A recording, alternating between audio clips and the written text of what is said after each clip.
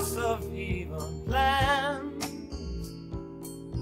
to make you its possession.